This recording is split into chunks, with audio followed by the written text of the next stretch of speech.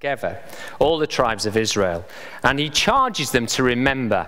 So, in a sense, what Joshua is asking the people to think about is what is your story? And he goes through and he reminds them that long ago, God called them as people.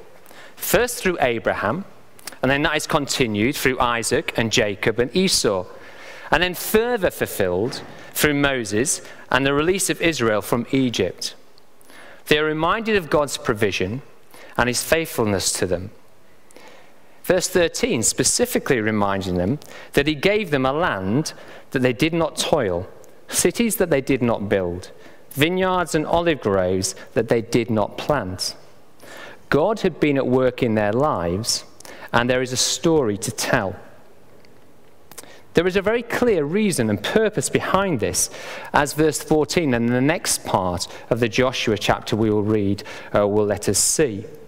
But before we go that far, I would just like us to pause as the Church of God here in Sileby and Cossington and Seagrave, and just to think about what our own story is. See, Joshua wanted the people to stop and to remember what God had done for them. And we, like the tribes of Israel, are gathered here together this morning. As we are gathered, I wonder what is our own individual story? What is it that we know that God has done for us? Because God is at work in everybody's life. We all have a story to tell.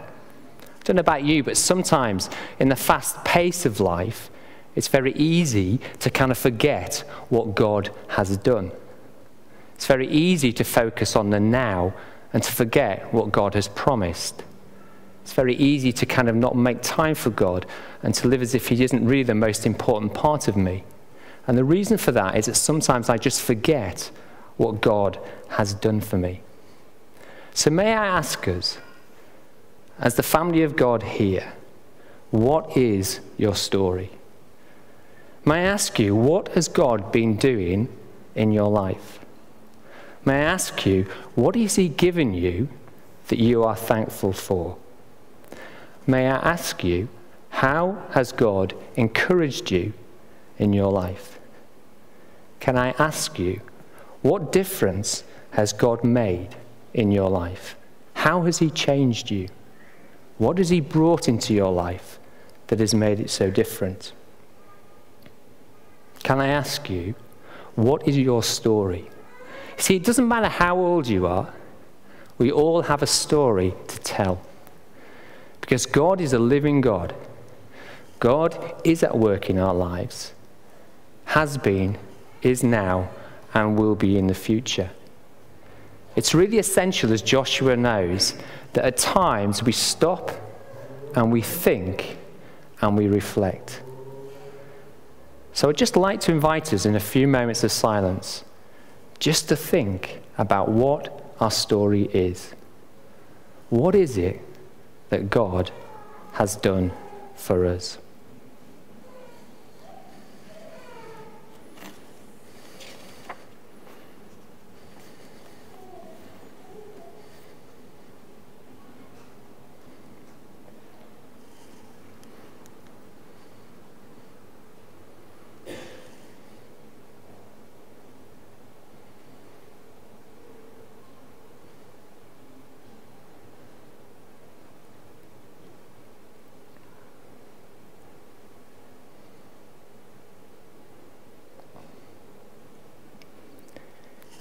There's a very visual way of re- remembering that.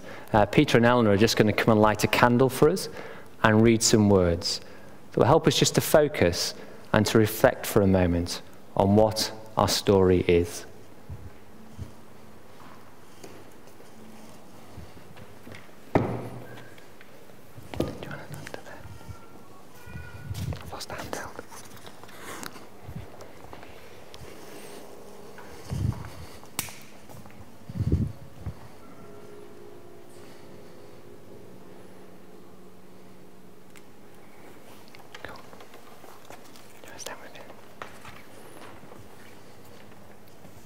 we light this candle to remember all that you have done for us, for you are our God, our strength, and our shield. You are the one who has changed our lives, has loved us and redeemed us, has brought, there, has brought light into darkness, and created new life. We come to you in awe and wonder, for you are the definer of our lives, for you are ours and we are yours. We pause to remember all that you have done for us, for you are our God, our rescuer, and our friend.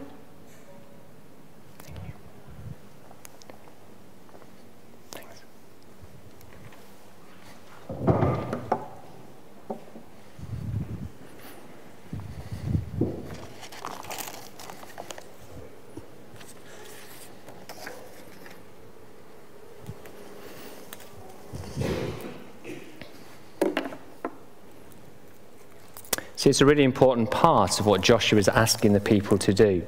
For he recounts their past, he gets them to remember their story, and then he speaks these words to them. Now fear the Lord and serve him with all faithfulness. Throw away the gods your forefathers worshipped beyond the river and in Egypt, and serve the Lord. But if serving the Lord seems undesirable to you, then choose for yourselves this day whom you will serve. Whether the gods of your forefathers served beyond the river, or the gods of the Amorites in whose land you are living. But as for me and my household, we will serve the Lord. Then the people answered, Far be it for us to forsake the Lord to serve other gods. It was the Lord our God Himself who brought us and our fathers up out of Egypt from that land of slavery and performed those great signs before our eyes. He protected us on our entire journey and among all the nations through which we traveled. And the Lord drove out before us all the nations, including the Amorites who lived in the land. We too will serve the Lord, because he is our God. Joshua said to the people, you are not able to serve the Lord. He is a holy God. He is a jealous God. He will not forgive your rebellion and your sins. If you forsake the Lord and serve foreign gods, he will turn and bring disaster on you and make an end of you after he has been good to you. But the people said to Joshua, No, we will serve the Lord. Then Joshua said, You are witnesses against yourselves that you have chosen to serve the Lord. Yes, we are witnesses, they replied. Now then, said Joshua, throw away the foreign gods that are among you, and yield your hearts to the Lord, the God of Israel. And the people said to Joshua, We will serve the Lord, our God, and obey him. So on that day, Joshua made a covenant for the people, and at Shechem he drew up from them decrees and laws and Joshua recorded these things in the book of the law of God. Then he took a large stone and set it up under the oak near the holy place of the Lord. See, he said to all the people, this stone will be a witness against us. It has heard all the words the Lord has said to us. It will be a witness against you if you are untrue to your God. Then Joshua sent the people away each to his own inheritance. See, Joshua says, reflect on your story, know who God is, what he has been to you, and now fear the Lord and serve him with all faithfulness. Now fear the Lord and serve him with all faithfulness. Joshua uses the reflection of the past to focus the mind on the now and to get the people to recommit to serve the Lord with all faithfulness. In doing this, he brings them to a place of commitment. And actually, he seems to me to make something really, really clear, which is about all of our relationships with God. Simply, it would seem to me that there is no sitting on the fence when it comes to our response to God. We can either choose to follow Him or we choose to follow something else. Joshua makes this really, really clear. The people have a choice to make follow God or follow the other gods. It's not a decision they can fudge, and it's not a decision we can fudge. Nor can we dismiss the truth that we are rejecting God if we choose not to follow Him. To say that we are just not made a decision yet, or that as far as we're concerned, He doesn't exist, or that really faith isn't our kind of thing, is just fudging the issue. Either you choose to follow God or you choose to follow someone else. Whether we like it or not, we have to make that decision. Whether we like it or not, Joshua speaks clearly about the gods that the people's ancestors used to serve. And he says, You must put these away. You must put these to aside. To focus on the one God, you must put them aside. Today, is there any difference really? Today, all of us as individuals have a choice to make either to follow the living God or we follow other gods. Whether it be the gods of materialism, popularity, success, fame, or even the God of atheism or indecision.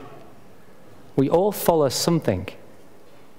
Sometimes, as the people of God, we actually follow God, but we also follow other gods as well. And God wants to deal with that and to challenge us about that. And that's what Joshua's really getting to the heart of, isn't he? He's saying, Remember the God that you have followed, know who he is, and choose again today to recommit to him. You see, commitment is a key aspect of our faith and our life with God. And at times, I believe that God calls us to make specific commitments. I still remember as a teenager the first time that I stood up and I said, Yes, I want to follow Jesus. I believe that he died for my sins. I believe that I'm forgiven. I want to follow him. And I made that commitment. But many times over my life, God has brought me to a point where he's asked me to remake that commitment again in some way. To either take me deeper into a relationship with him or to challenge me about something that I just needed to let go of to be able to move on with him. And that's what Joshua does in a sense, doesn't he? He calls the people together. He says, Remember your God, make a commitment. But as for me and my household, we will serve the Lord. Joshua stands up in front of all the people and says, As for me and my household, we will serve the Lord. For us as a church family, as individuals, for many of us, we may have followed God for many, many, many years. But I just have a sense that this passage is speaking to us about God just wanting to bring us together again as a family of God and to say, is this a time for us to recommit? Is this a time for us to refocus on what it is God wants of us? Do we feel that longing to know God more? Do we feel that desire to want to actually follow Him in a different way? Do we hear the voice of the Holy Spirit speaking to us, saying, Come deeper, come deeper? See, when Joshua stands up and he makes that statement, he is saying, I commit myself to being whoever God wants me to be, in whatever situation, for I will serve the Lord. Maybe, as you hear that, maybe you've never made a commitment. Maybe you've never really thought about the fact of, well, I'm not sure. Do I believe this or don't I believe this? Maybe today, Maybe you might hear the voice of God, which is saying, I am here. I do love you. Maybe today is a chance to say, Yes, I will follow you. Maybe for you that's something. Maybe for others it's just an opportunity to remind ourselves of what God has done in our lives and to recommit ourselves to be the people that God wants us to be in the situations that He has called us to be.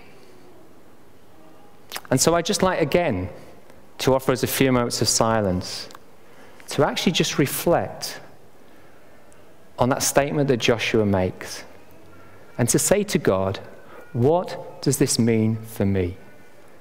What are you asking of me? What are you calling me to? Should we just be silent and just to think and just to listen to the small voice of God who is here in this place, who wants us to know his love and wants to call us into a deeper and deeper relationship with him?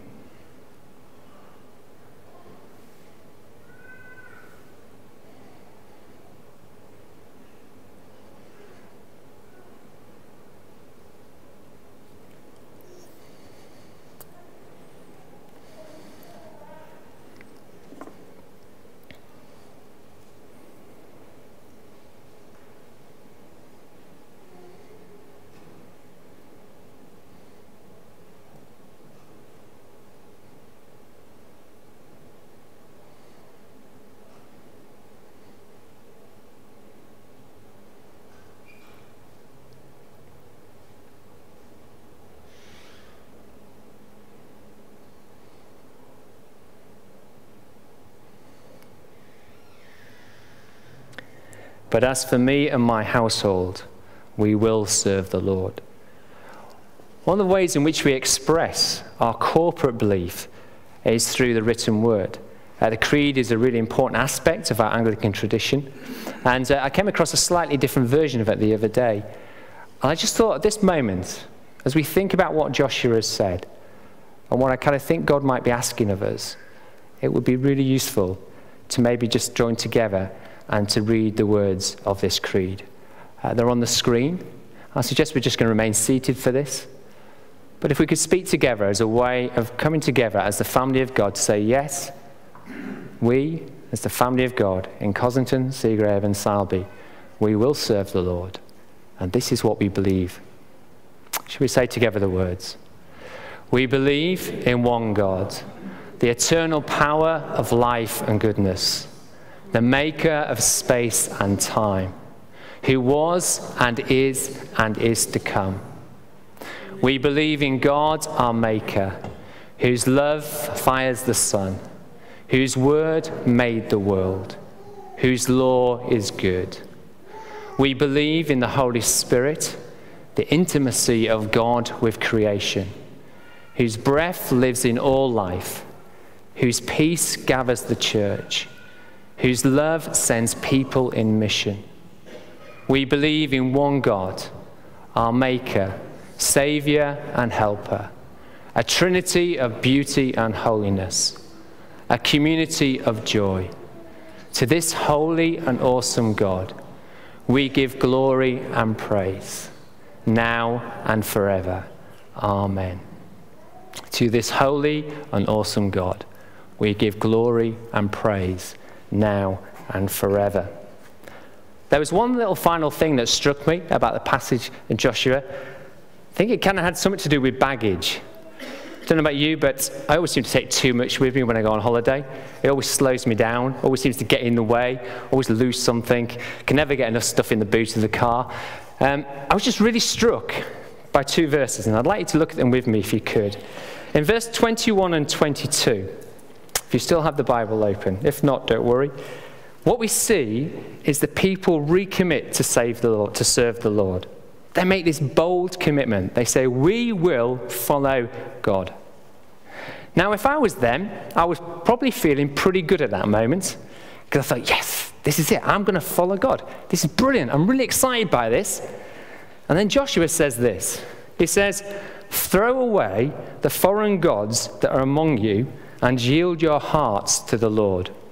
Throw away the foreign gods that are among you and yield your hearts to the Lord. I was really struck by that challenge. But then I kind of reflected on my own experience of God. I know that God is not satisfied with leaving me as I am. He is committed to bringing me closer and closer into a relationship with Him. Where in the past there have been things that he needed to deal with, he has dealt with them. Either through the written word, through his Bible, I've read it and it's spoken to me and it's challenged me. Whether through the counsel of friendship, where someone's come alongside me and said, You know, Andrew, you really need to think about this. or even through just the still voice of God speaking to me in my own heart. God is not satisfied with how I am. Now, that does not mean that He does not love me as I am now. God loves me unconditionally, but He is not satisfied because He knows what I can be if I can move from where I am. And I think what Joshua is saying to the people here is you've made this commitment, but there's still stuff we need to deal with. I don't know about you, but I know there is still stuff in my life that God needs to deal with. And can I just wonder again today, as we think about making that commitment, we think about what God has done to us, for us, are there things in our lives which we know that God needs to deal with? Are there things in our lives that we need to let go of, to put aside? Are there situations in our lives that we need to know God's grace and God's forgiveness and God's love? Is there change? Is there a need for movement? Is there a need for some encouragement? Is there a need for some healing? Is there a need for some forgiveness? See, because we all carry baggage, but God does not want us to hold on to that baggage. He wants to be the friendly porter on the train station who comes along and says, I'll take that for you and take it away. Because he wants us to be the people he has created us to be. If that speaks to you today, may I encourage you to share that with somebody? Somebody that you know that's close. Maybe get them to pray for you. Or maybe at the end of the service, if you just felt that there's just something that you need God to deal with, or you need some encouragement, or you need some lo- love from God shown in certain ways, then please consider coming forward. Uh, we offer prayer at the end of our services, down in Chancery at the end there. If that's something that God has kind of just pointed at you or itched you, then please take that moment. Because God wants to change us. He is dissatisfied with how we are. Not because he doesn't love us, but just because he wants us to be. See, when Joshua said, put these things aside, he did it because he knew what the people could become. I love the line at the end. The people went to their inheritance. I wonder today, what will be our inheritance? What is it that God wants of us? What is it that God wants to give us? So let us remind ourselves of God's past goodness and faithfulness. Let us commit ourselves to his service. Let us embrace the challenge and change that he brings into our lives. And let us reflect on that statement made by Joshua. And may that be our statement for us today. For as for me and my household, we will serve the Lord. As for us and our households, we will serve the Lord. For the Lord is good and the Lord loves us. We're going to use the words of the confession in a few moments. Um, just going to put it up on the screen, right? Confession is a way of just kind of clearing some of that stuff, just reminding ourselves that God is not satisfied with us and we're not satisfied with ourselves because we want to change. Just invite us to just take a few moments to think about those words to think about what it might mean for us to move deeper into a relationship with God so that we can more fully serve the Lord.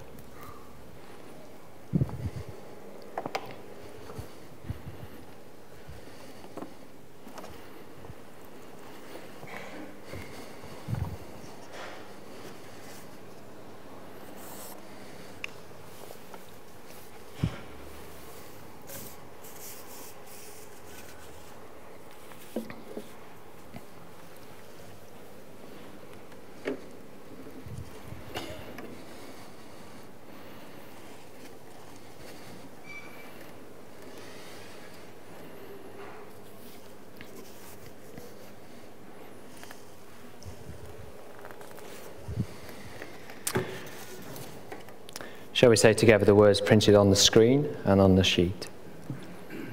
Father eternal, giver of light and grace, we have sinned against you and against our neighbour, in what we have thought, in what we have said and done, through ignorance, through weakness, through our own deliberate fault. We have wounded your love and marred your image on us we are sorry and ashamed and repent of all our sins. For the sake of your Son, Jesus Christ, who died for us, forgive us all that is past and lead us out from darkness to walk as children of light. Amen. Lead us out from darkness to walk as children of light. We are the children of light.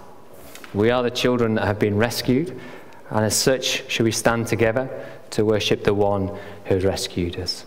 My hope is built on nothing less than Jesus' blood and righteousness. I dare not trust the sweetest frame, but wholly trust in Jesus' name.